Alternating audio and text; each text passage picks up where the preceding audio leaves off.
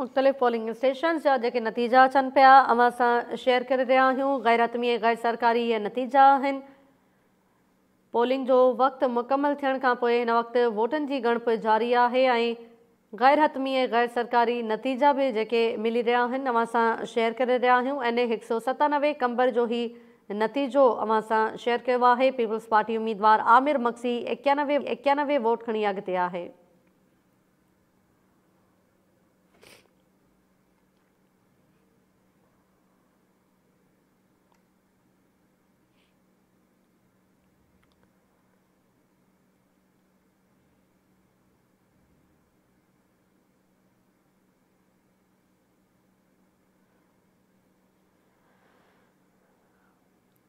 इन हिक सौ सतानवे कंबर जो गैरतमी ऐं ग़ैर सरकारी नतीजो अव्हां सां शेयर कयो आहे पीपल्स पार्टी उमेदवार आमिर मक्सी एकानवे वोट खणी अॻिते आहे